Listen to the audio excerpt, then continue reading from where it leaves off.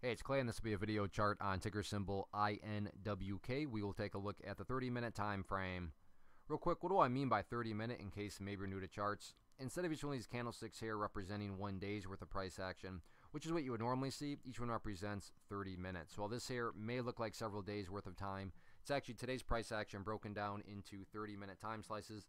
I like to this time, Frampton does a good job of telling the quote-unquote story of the price and then makes mapping out where levels of support and resistance a bit easier to see. I don't mean to state the obvious, but I will anyways. Very impressive movement today, not only from the price action perspective, but you look down here at the volume and well above average volume on the day. So a lot of eyeballs on this one going forward. So let's map out some areas of support and resistance. First level of support is what I would call the ideal level. And we say, hey Clay, what would make this chart look the absolute strongest going forward? And that would be if the price could stay up above the $4 mark. Now, don't get me wrong, if the price falls below 4 I'm not saying the entire chart's destroyed or ruined or anything like that. But yeah, if the price could manage to actually stay up above that level, that would definitely be a massive sign of power going forward. Next level of support after that would be down here at the previous breakout point, which sits right around 355. So $4 and 355, two of the nearer term levels. Taking a step back and looking at all this from the bigger picture point of view, that is where the purple line there comes into play, the 50 period simple moving average. Keyword being moving. As time goes by, that line is going to move itself higher and higher. So a very basic yet highly effective way to judge the health of the move.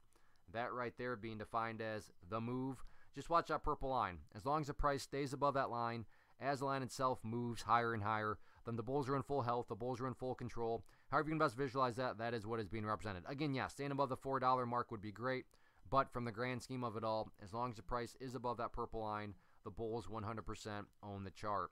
What about levels of resistance?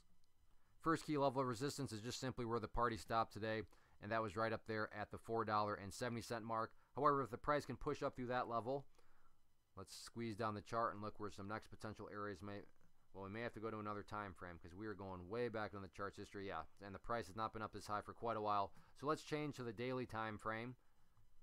Again, definitely a good problem to have.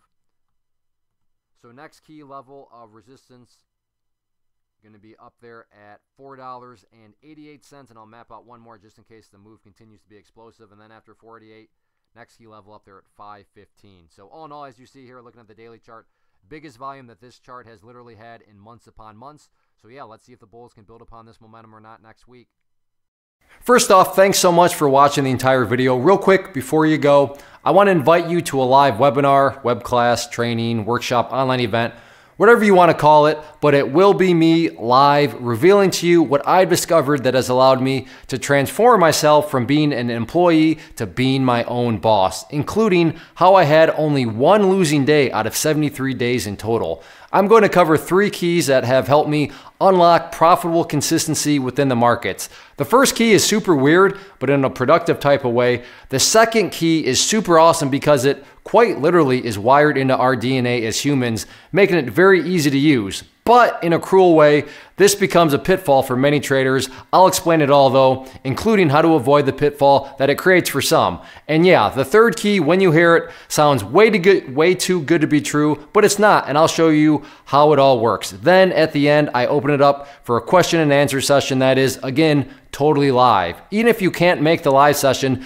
please still sign up as it will be recorded, and you can go back and watch the replay that I will send you. Click the image on the screen or click the link down in the description box so you can get the date and time and claim your spot, which I should note is limited due to the fact that this truly is a live event. If you have any questions, let me know. If not, I'll be seeing you soon.